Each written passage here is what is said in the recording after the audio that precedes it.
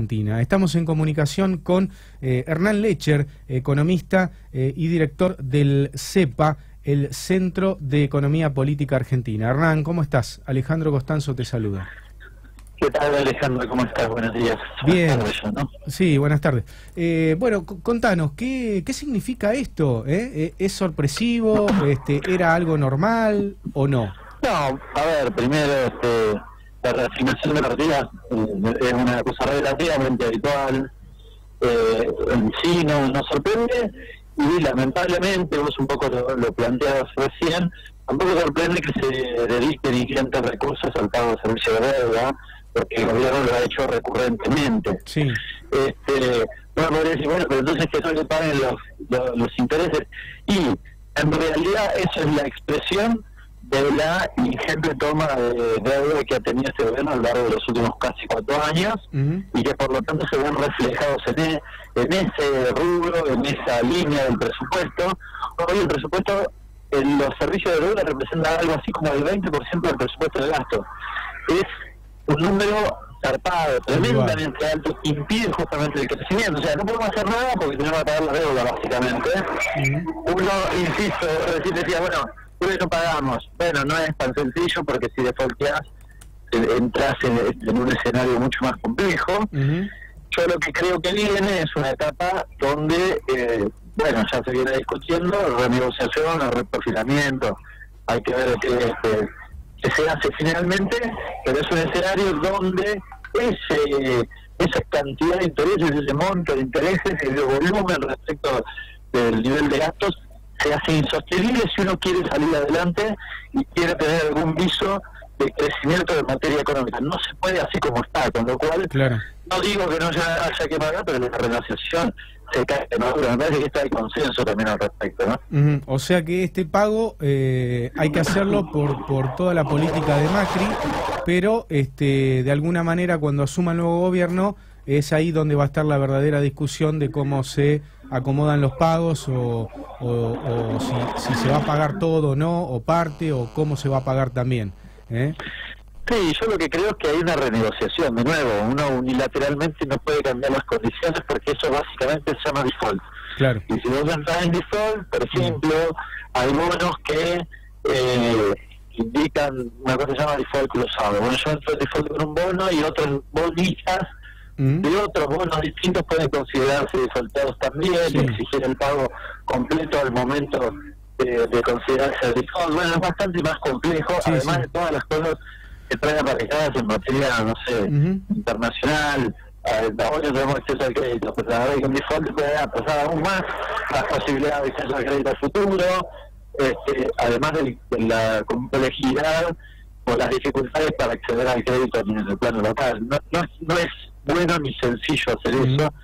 Este, por lo cual me parece que el mecanismo que, que, hay consenso, insisto, en la sociedad y en los economistas y en la vida política de vida, es que lo que se requiere es una renegociación. Uh -huh. habla de reperfilamiento, bueno, hay que ver. Hay deudas con el Fondo Monetario Internacional, hay deudas con los acreedores privados, ¿qué hacemos con cada una de ellas?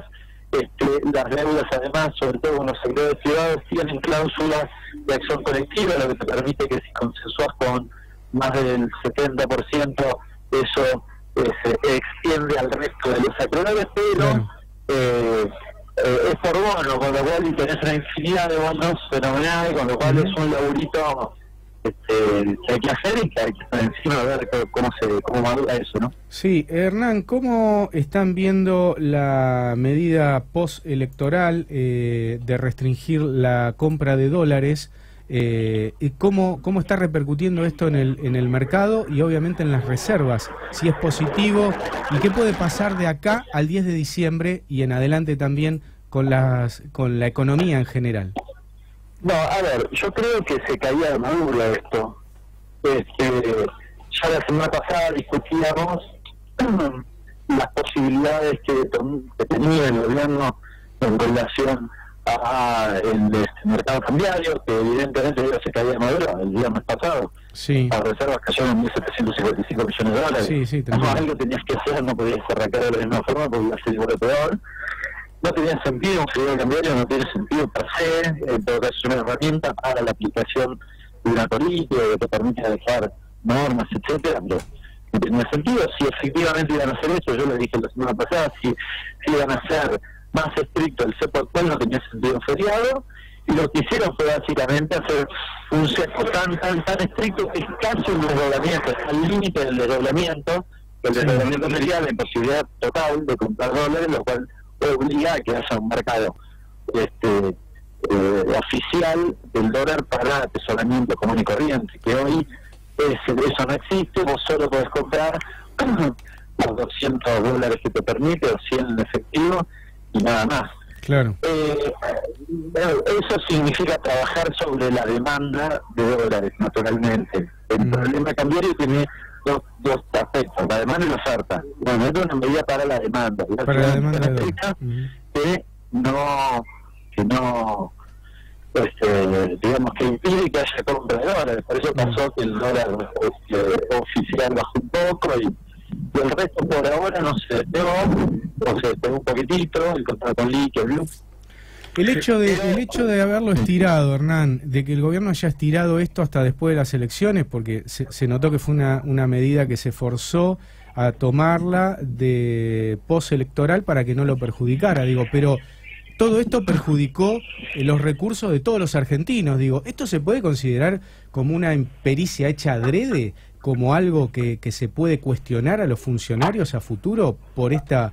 Por, La verdad que sí, voy a tener 26. La verdad que sí, está claro que la intencionalidad fue intelectual. Me parece que no hay duda porque se tomó. De hecho, el lunes y a ver, no es que vos tuviste tensiones el día viernes bueno, vaya y pase, se puede haber escapado, no sé qué.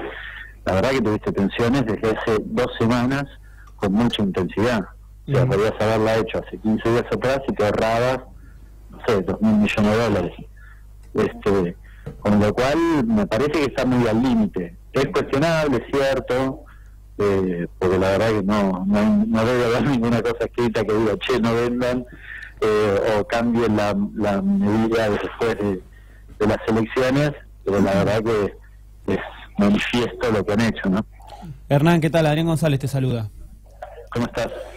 ¿Qué lectura haces en cuanto a las medidas económicas que aplicó el gobierno entre ayer y, hoy en cuanto a la transición de mando y al costo político? ¿Crees que, tiene buena fe el gobierno para delegar el, el, poder el 10 de diciembre y que el costo político no lo asuma Alberto Fernández? Me parece prematuro este, evaluar eso. La verdad que por lo que ha sucedido hasta ahora, este, da la impresión que, va, que eso, a uno le genera expectativas. Una reunión entre el presidente actual y el presidente electo, eh, consensuaron diálogo cotidiano, las decisiones la toma el presidente actual, cosa que es así. Eh, me parece razonable, digamos, hasta ahora me parece razonable quedan 40 días y es mucho 40 días para evaluar esto, con lo cual eh, hay que ver este, eh, día por día, día, minuto a minuto, pero la verdad que si me preguntas ahora me parece mm. razonable lo que había que hacer.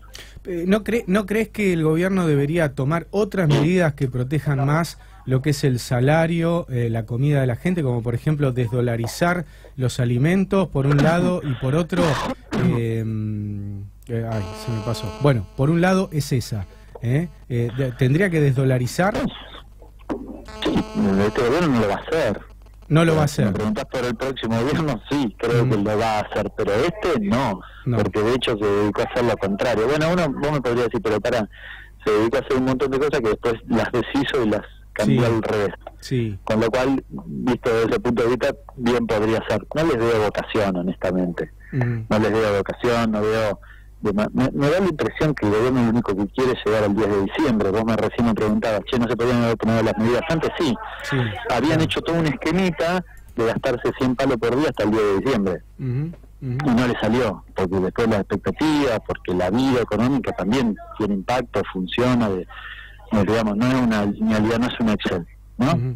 Este, pero bueno, y en ese sentido yo veo poca vocación del gobierno de atender los problemas de los argentinos a esta altura de partido. ¿no? ¿Y cómo viste la reacción de los mercados eh, post eh, elecciones? tranquilo, la verdad que parece que la preocupación estaba en, la cuestión cambiaria.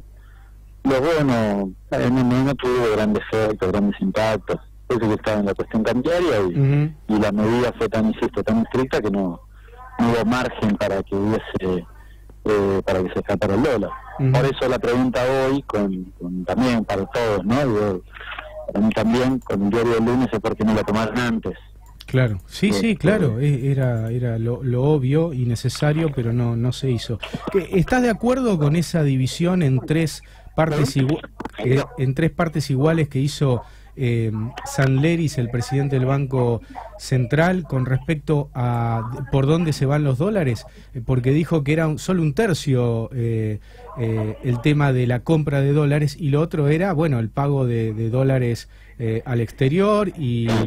O sea, ¿estás de acuerdo con esa, esa ese tercio? los datos son los datos. Hay tres tercios en realidad. El pago de deuda, hay este, salida de dólares porque el Banco Central le transfiere las entidades, a los bancos para que la gente, si quiere sacar los dólares, los saque, que es un problema esencialmente de confianza, y después hay este, intervenciones directas del Banco Central, que es el tercio que habla la, este, San digamos, está bien, de todas formas no cambia nada de eso, eso, los datos, la realidad es que las reservas han caído de manera manifiesta y significativa, y honestamente a ver, perdieron casi 23 mil millones de dólares sí. me del partido. Sí. Eh, un tercio de eso por tirarse arriba la bomba me parece mucho, porque además encima ni siquiera compraste el dólar. La verdad no sé si fue defensa propia, no sé qué quiso decir, pero...